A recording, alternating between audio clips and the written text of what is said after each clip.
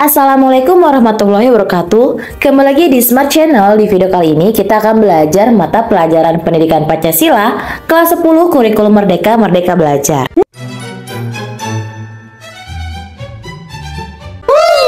Materi yang akan kita bahas yaitu Bineka Tunggal Ika. Subbab materi yaitu kerjasama dan gotong royong dalam kehidupan bermasyarakat. Tujuan pembelajaran. Peserta didik diharapkan mampu menjelaskan keberagaman dalam bingkai Bhinneka Tunggal Ika, menguraikan kerjasama dalam kehidupan bermasyarakat, dan menguraikan gotong royong dalam kehidupan bermasyarakat.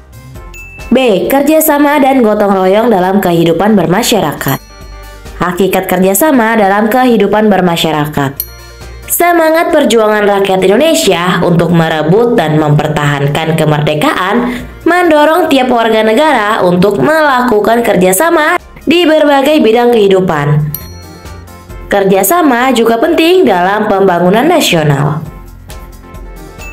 Pembangunan nasional adalah rangkaian upaya pembangunan yang berkesinambungan yang meliputi seluruh aspek kehidupan masyarakat, bangsa, dan negara untuk melaksanakan tugas mewujudkan tujuan nasional sebagai dirumuskan dalam pembukaan Undang-Undang Dasar Negara Republik Indonesia tahun 1945.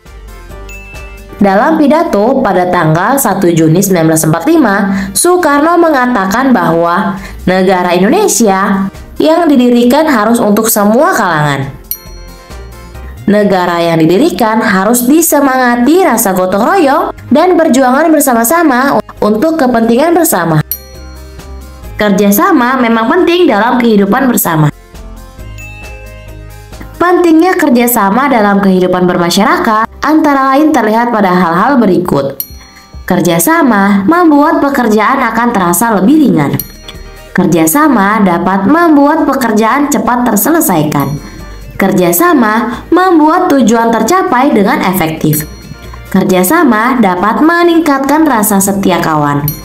Kerjasama dapat memupuk tanggung jawab sosial. Kerjasama dapat memupuk rasa kebersamaan.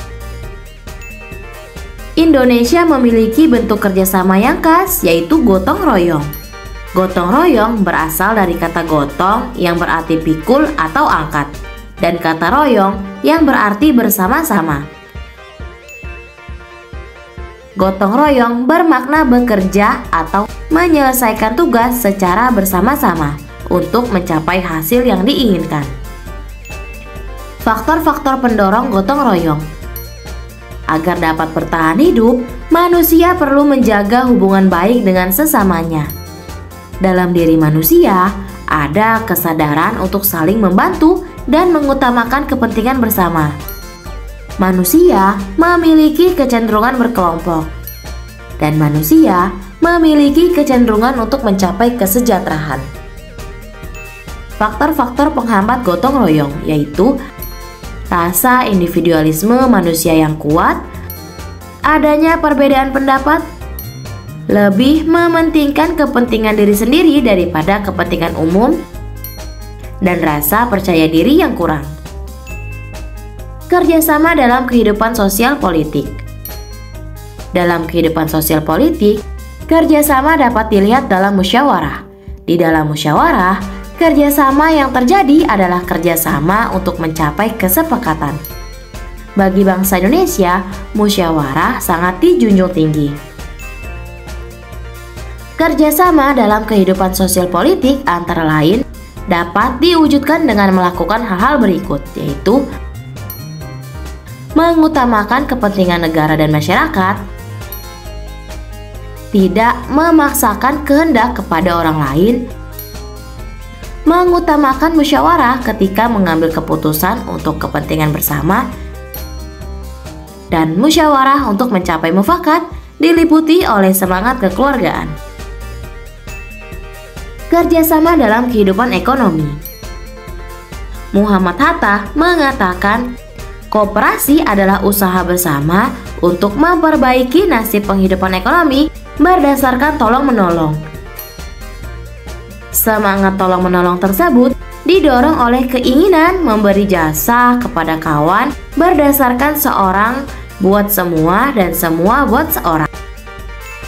Bentuk-bentuk kerjasama dalam kehidupan ekonomi antara lain dapat diwujudkan dengan melaksanakan hal-hal berikut yaitu bersikap adil, tidak bergaya hidup mewah, menjaga keseimbangan antara hak dan kewajiban, menghormati hak-hak orang lain, dan suka memberi pertolongan kepada orang lain. Kerjasama dalam kehidupan pertahanan dan keamanan negara. Upaya bela negara, selain sebagai kewajiban dasar manusia, juga merupakan kehormatan bagi setiap warga negara yang dilaksanakan dengan penuh kesadaran, tanggung jawab, dan rela berkorban dalam pengabdian kepada negara dan bangsa. Keikutsertaan warga negara dalam upaya bela negara sebagaimana disebutkan dalam pasal 9 ayat 2 Undang-Undang Rakyat Indonesia Nomor 3 Tahun 2002 tentang pertahanan negara diselenggarakan melalui hal-hal berikut. Pendidikan kewarganegaraan, pelatihan dasar kemiliteran secara wajib, pengabdian sebagai prajurit Tentara Nasional Indonesia secara sukarela atau secara wajib, pengabdian sesuai dengan profesi. Berdasarkan Undang-Undang Rakyat Indonesia Nomor 3 Tahun 2002, salah satu cara Keikutsertaan warga dalam upaya bela negara adalah mengabdi sebagai prajurit TNI. Kerjasama antar umat beragama Kerukunan umat beragama adalah keadaan hubungan sesama umat beragama yang dilandasi toleransi, saling pengertian, saling menghormati, menghargai kesetaraan dalam pengamalan ajaran agamanya, dan kerjasama dalam kehidupan bermasyarakat, berbangsa, dan bernegara di dalam negara kesatuan Republik Indonesia berdasarkan Pancasila dan Undang-Undang Dasar Negara Republik Indonesia tahun 1945. Gotong royong menjadi cara hidup rakyat Indonesia sejak sebelum kemerdekaan. Inilah bentuk kerjasama khas Indonesia. Kemudian dalam perkembangannya, cara hidup ini dijadikan cara hidup bernegara. Bentuk-bentuk gotong royong yang ada dalam masyarakat Indonesia yaitu gotong royong berburu dan mengumpulkan makanan, gotong royong bercocok tanam, dan gotong royong membangun rumah. Oke, cukup materi tentang kerjasama dan gotong royong dalam kehidupan bermasyarakat. Materi selanjutnya ada di video berikutnya ya. Wassalamualaikum warahmatullahi wabarakatuh. Damn.